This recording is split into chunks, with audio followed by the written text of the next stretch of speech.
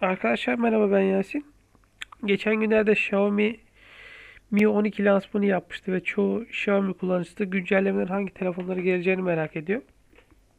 Şimdi Mi 12 ile gelen yeni özellikler ve hangi telefonlara güncellemelerin geleceğini listelemeye çalışayım.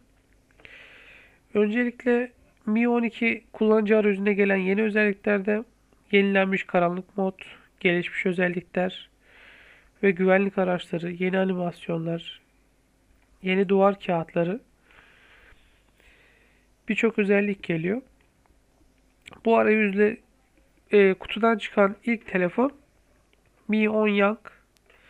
Android 10 işletim sistemiyle çalışıyor ancak Xiaomi'nin yeni kullanıcı arayüzü Android 11 işletim sistemiyle uyumlu olduğu için entegrasyonu kolay olacak.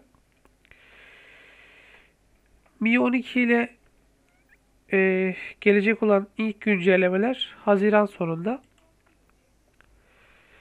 İlk gelecek telefonlarda Mi 9, Mi 9T, Mi 9T Pro, Redmi K20, Redmi K20 Pro.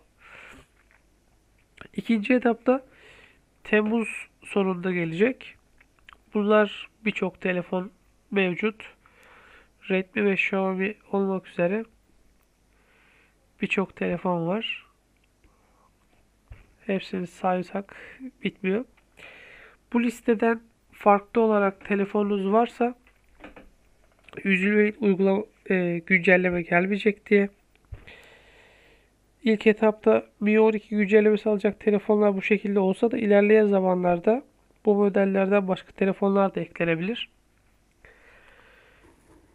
Bu Xiaomi'nin ilerleyen zamanlarında haberlerini vereceği bilgilendirici şekilde düşünülüyor. Şu an için bilgilendirme bu şekilde arkadaşlar. Güncelleme alacak telefonlar bunlar.